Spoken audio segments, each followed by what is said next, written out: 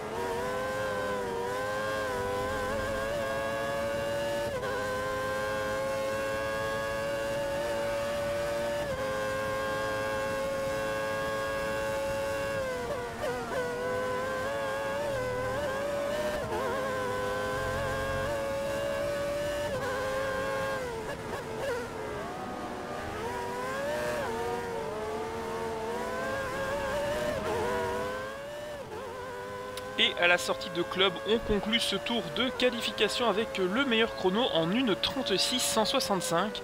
Euh, pôle provisoire, assez surpris, mais vous allez voir que eh bien, un tour plus tard, on déchante puisqu'on est déjà 5ème et Diorvine a pris la pole. Coulthard est 4ème, on est devant euh, la Rose de Damon Hill, 6ème, qui s'en sort pas mal avec son Arrose pour l'instant. Mais nous, on va conclure ici ce euh, premier chapitre du week-end britannique. On va rentrer dans les stands tout simplement attendre le verdict de la séance. On sera peut-être 5, 6, 7ème peut-être. On va voir euh, où on se place. Ce serait bien d'être du bon côté de la piste, même s'il pleut, c'est pas très important. Mais c'est déjà ça de gagner. Et euh, eh bien, à la vue des résultats, c'est Eddie Irvine qui fait la pole devant les surprenantes McLaren qui se sont placées euh, seconde et troisième, Fredzen et quatrième. Tandis que eh Schumacher n'est que huitième en fin de grille, pas de chrono pour Shinji Nakano sur la Prost.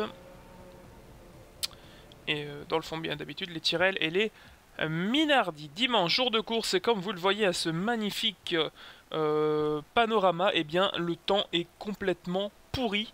donc il va falloir faire avec des conditions très très difficiles. Je pense que les premiers virages, Abbey et tout ça, le loop, vont être très difficiles à passer. On va essayer de gagner quelques positions de la de la plus belle des manières avec, euh, avec notre setup adapté. On va essayer de s'en sortir euh, avec une voiture bien souple, euh, avec également pas mal de roulis. Enfin bref, on va essayer de, faire jouer les réglages en piste. On s'élance. Et vous découvrez donc le poleman Eddie Irvine. Quatrième place pour Renzo Frenzen. Nous partons du bon côté, cinquième. Et vous voyez que eh bien, la piste est détrempée pour ce départ.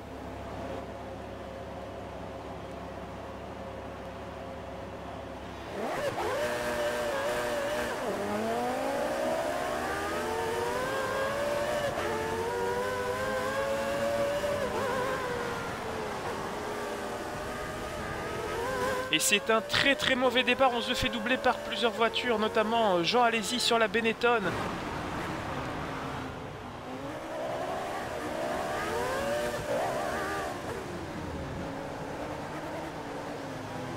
On se faufile malgré tout dans les premiers virages. Ça arrive à passer. On maintient la quatrième place. On a pris un bon départ devant la Ferrari très très lente à la sortie d'Entry. On va essayer dans la Wellington, euh, la ligne droite Wellington, de prendre l'avantage avant Brooklands. Euh, les deux Ferrari sont passés. Fredzen a donné un gros coup de frein. Et on va faire l'intérieur à Schumacher, puisque, euh, à Irvine, puisqu'on va se retrouver derrière Schumacher à Lefield. Alors réaccélérer ici avant Woodcott, ça va être très difficile. Ici, voilà, on réaccélère. Il faut bien replacer la voiture dans son axe avant de passer la puissance. Sinon, ça glisse. On passe Woodcott. On ne voit rien derrière la Ferrari. Les gerbes d'eau euh, sont absolument un vrai voile sur nos yeux. Mais on est obligé de garder la bonne trajectoire si on ne veut pas et perdre l'adhérence et perdre du temps. Donc voilà, on va arriver dans les enchaînements. Maggots, Beckett et Chapelle, très célèbres bien sûr. Ici ça se passe en 4 ou en 3. On va essayer de voir euh, au fur et à mesure, au feeling, euh, comment on peut les passer. En tout cas, excellentissime départ de Mika Hakkinen sur la McLaren qui est parti avec un, énormissime avantage sur nous. Euh, voilà, vous le voyez, il est déjà eh bien, dans ce taux alors que nous on y entre seulement maintenant. Il va bientôt conclure ce premier tour de piste. On s'en est bien sorti, on est troisième. Euh, derrière Schumacher, oui, mais devant Irvine. Et euh, la course va se dessiner ainsi. On va tenter de se battre face au Ferrari, puisque euh, eh bien, petit à petit, on va le voir, bien, la McLaren va fuir, fuir vers l'avant. Pendant la première partie de course. Également, comme nous sommes en pneu pluie, pas besoin de stopper pour passer les deux compositions de gomme. donc on va aller jusqu'au drapeau à damier avec cette configuration. On est dans le deuxième tour, on se retrouve à Le Field avec Schumacher très très lent. On va tenter de réaccélérer mieux que la Ferrari, mais c'est très compliqué. Euh, le châssis euh, Ferrari est très très bon sous la pluie. Il va falloir euh, trouver une ouverture quelque part et ça va risque d'être compliqué. au niveau du rythme, donc la McLaren est partie seule en tête. Nous sommes dans le deuxième peloton avec Irvine et, et Frenzen à nos trousses. Puis viennent les Benetton et les Jordan. Ainsi que Coulthard qui ne doit pas être si loin mais dans les enchaînements c'est compliqué. Ici on est en troisième et ça glisse pas mal et de nouveau une visibilité très très mauvaise. Regardez dans la ligne droite, on ne voit rien avec euh, ce que nous dégage la Ferrari, ce que nous soulève comme la Ferrari. On va essayer de bien se placer pour le freinage de Sto, mais ça ne passe pas. Aucune faute hein, de la part euh, des Ferrari. Très très bon euh, premier tour de la part des Ferrari qui se comporte très très bien. Alors la McLaren qui vole. On est plus dans le troisième tour et une faute, je loupe complètement mon freinage à Brooklands et je vais me faire doubler euh, par euh, Irvine, donc ça m'arrange pas du tout.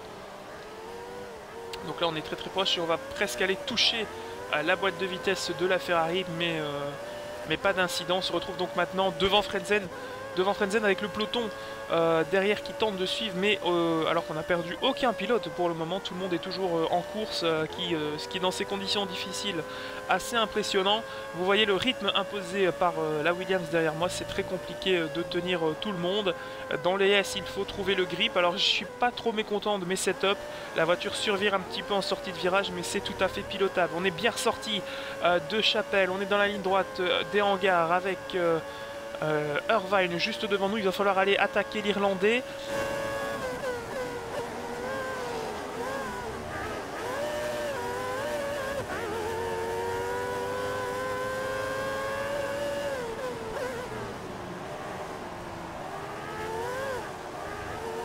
Vous l'avez vu, nous sommes passés troisième. Nous avons doublé euh, suite à un magnifique euh, virage de Stowe, une magnifique attaque. Bon, on est allé un petit peu poussé, hein, c'est vrai. Eddie, euh, Eddie Irvine, mais on est passé euh, troisième derrière euh, Schumacher. quatrième tour maintenant, on va le terminer toujours devant Frenzen qui a passé Eddie Irvine qui a perdu une seconde place dans la manœuvre. Et toujours cette McLaren inarrêtable devant. On glisse beaucoup, vous voyez dans les derniers virages, ça devient un petit peu la période où les pneus ont un peu moins de grippe et on glisse pas mal dans les virages mi-vitesse, mais ça n'empêche que nous sommes les plus rapides en piste avec un une 45 746 pour le moment. Donc Akinen, Schmarer, Villeneuve, Fredzen, ça ne bouge pas. Au virage de Brooklands, on tente euh, de désespérément rallier à l'arrivée dans une meilleure position puisque là, ça devient très compliqué. Hein. Il faut, se dire qu'on essaie simplement de rester en piste avant d'attaquer. Et euh, on ne se décale pas non plus. On ne va pas aller chercher la visibilité euh, ailleurs euh, pour dépasser la Ferrari puisque tout simplement eh bien, ce serait perdre du temps hors trajectoire. Alors on est bien, on va toucher très légèrement Schumacher, on est bien sorti dans la ligne droite des hangars, on va essayer d'aller attaquer la Ferrari, on a un très très bon run, on se blottit dans l'aspiration, on tente d'aller à gauche, on va essayer de le prendre à l'extérieur, peut-être surpris mais non, impossible de trouver l'ouverture pour l'instant sur la Ferrari. Alors que l'écart avec euh, la McLaren se réduit. La petite faute, on est allé euh, trop large dans le droit de Stowe. Et ça nous fait perdre du temps. Ici, on rentre très très fort en glissade, même les quatre roues qui glissent presque euh, dans la dernière chicane. Et dans la relance à Woodcote, ça passe très très bien. Au niveau des écarts, ça se maintient. On a une seconde 2 d'avance sur Frenzen. Mais il faut absolument faire sauter le bouchon Schumacher. Il faut trouver l'ouverture euh, sur la Ferrari et pour l'instant ça paraît euh, très mal engagé. Devant vous avez vu, oui une McLaren au ralenti, euh, je, dois croire qu'Akinen a fait une faute. Visiblement le pilote finlandais est beaucoup plus proche de nous à, cet instant de la course. Alors que Schumacher toujours pas de possibilité. Il va falloir qu'on force le passage si on veut aller chercher l'allemand. Alors de nouveau très large ici, on est au ralenti dans l'astroturf, c'est un peu dommage. Enfin du moins sur la peinture verte, ça glisse donc on est ralenti. Et on se retrouve maintenant dans le septième tour. Regardez, la McLaren n'est plus si loin que ça. La victoire est tout à fait envisageable. Et pour Schumacher et pour moi-même, il va falloir attaquer euh, la McLaren qui a un petit coup de moins dans euh, ce milieu de course. Peut-être qu'une attaque euh, sur Schumacher pourrait nous permettre d'aller chercher ensuite Akinen. On n'en est pas là il faut d'abord s'attaquer à la Ferrari et quelle lutte, quelle lutte. On est en train de se battre avec Schumacher, c'est vraiment très agréable à piloter. J'espère que j'arrive à vous faire retranscrire aussi euh, l'intensité de la bagarre puisque dans certains virages on est comme ici bien plus rapide mais il faut placer, je vais très gourmand sur les vibreurs, je glisse et Schumacher va donner un petit coup de frein pour... Euh, sécuriser euh, l'aileron avant, on va dire, de sa Ferrari.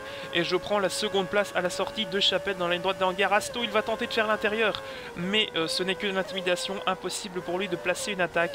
Et on se retrouve second derrière Akinen. Une voiture nous sépare du commandement de la course. On est un petit peu plus lent dans les premiers secteurs puisque les pneus commencent à s'user et la voiture glisse de plus en plus. Vous le voyez de toute façon, regardez, je dois contrebraquer en euh, sortie de virage. On l'a vu à Woodcote ici, ça va encore glisser pas mal.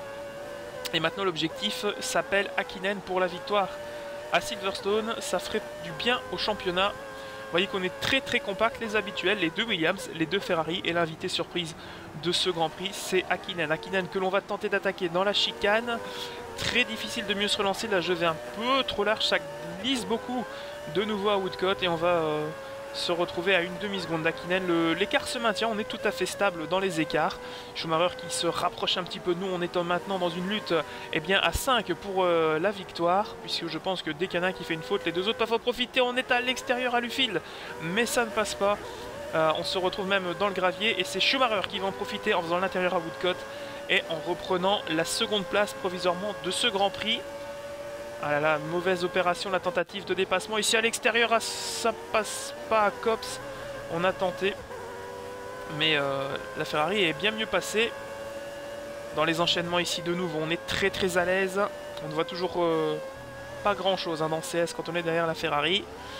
Et regardez, la relance ici, on est pas mal. Quatrième. Cinquième dans la ligne droite des hangars. À l'aspiration de la Ferrari. Sixième.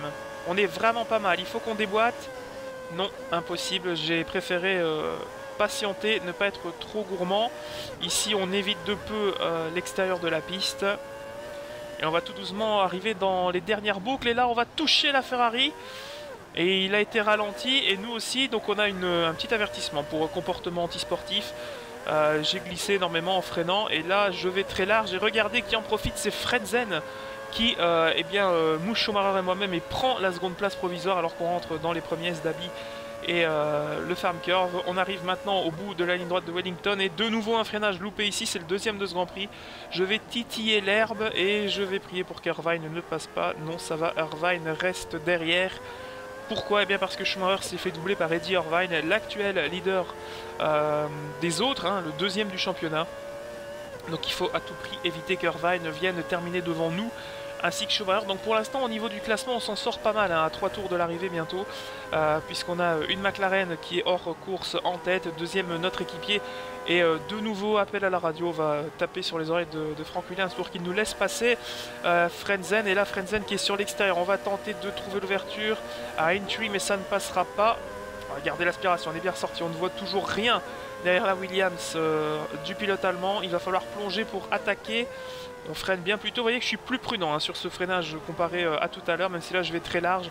Je prends une trajectoire un petit peu différente pour essayer de me décaler dans les rétroviseurs euh, et, créer euh, un espace, mais ça ne marche pas. Frenzen est bien concentré sur son Grand Prix. On sort un petit peu large à Woodcott, encore une fois. Euh, une piste très très très délicate. On va entamer le dernier tour de course ensemble. On va aller jusqu'au bout pour que vous voyez un petit peu la lutte bien que j'ai dû porter face à mon équipier. Donc Coulthard est très très loin, il a perdu quelques places, j'étais voir sur le replay. Pendant que son équipier est bien cravache en tête. Akinen va remporter, si tout va bien, ce Grand Prix, sauf une grosse faute. Deuxième, on ne sait pas encore, ça peut jouer entre moi et, euh, Frenzen actuellement deuxième. Euh, derrière, c'est pas à gagner non plus pour, euh, la Ferrari.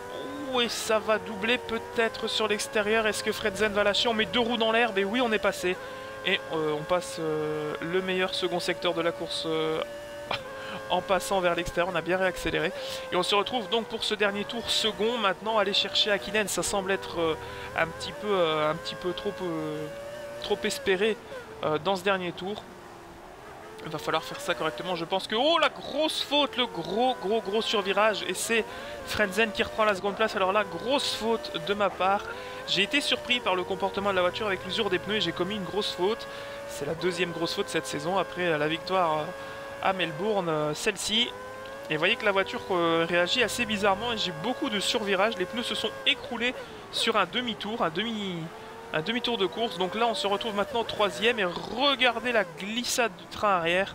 C'est assez bizarre euh, que d'un coup, voilà, la voiture est quasiment plus contrôlable. Maintenant, on va tout simplement tenter de rallier l'arrivée et de combler eh bien l'écart, de garder pardon l'écart avec Irvine qui se porte à notre hauteur avant Brooklands, mais on va bien mieux freiner que lui. Il va même tellement freiner qu'il va perdre la quatrième place au profit de son équipier. Vous allez voir le classement à gauche qui euh, va euh, switcher normalement. Voilà, c'est maintenant Schumacher quatrième. Donc ça rassemblera un peu tout le monde hein, en tête du championnat. Ça va resserrer un petit peu les, points. Vous voyez sur la droite l'état des pneus. Hein. C'est constamment, euh, constamment difficile de terminer cette course avec ces pneus-là. C'est euh, un rythme à garder que je n'ai plus du tout dans ce dernier tour. Les derniers passages dans Magots, Beckett et Chapelle. Ici, on va carrément passer en deuxième tellement il faut réaccélérer pour retrouver du grip. La voiture est tellement lente, mais ça devrait le faire. Si tout va bien, victoire, euh, première victoire euh, de la saison pour Mika Kinen. Il y en aura peut-être d'autres, qui sait. Si des Grands Prix sont dans ces conditions-là, ils peuvent tirer leur épingle du jeu. Et pourquoi pas voir aussi Jordan grimper dans la hiérarchie. La dernière chicane, le dernier freinage. Le gauche et le droit. Et on va prendre nos aises pour accélérer tout doucement pour ne pas patiner. C'était tendu quand même, il est pas loin. Schumacher derrière, victoire de Mika Kinen. Le Finlandais s'impose dans ce Grand Prix euh, de Grande-Bretagne devant euh, Harald Frenzen, notre coéquipier. Nous complétons le podium devant les deux Ferrari dans l'ordre Schumacher et Irvine. Donc euh, le classement de la course, vous le découvrez. Très belle performance de Olivier Panis qui termine à une belle sixième place sur la Prost Mugen Honda. Ensuite Fisichella, Herbert et Coulthard, dixième qui a fait un gros tête à queue, je vous l'ai dit tout à l'heure, alors qu'il partait euh, très haut sur la grille. Il était euh, troisième, pas d'abandon dans ce Grand Prix, c'est assez rare pour le noter. Vous découvrez quelques bugs de texture sur les chemises euh, des mécaniciens, mais c'est un mode qui est en euh, développement. Je rappelle que le mode, c'est dans la description. Merci beaucoup d'avoir fait euh, ce bout de chemin avec moi. Je vous donne déjà rendez-vous pour la quatrième manche au circuit Gilles Villeneuve. Ce sera le Grand Prix du Canada. Merci beaucoup et bien à la prochaine. Salut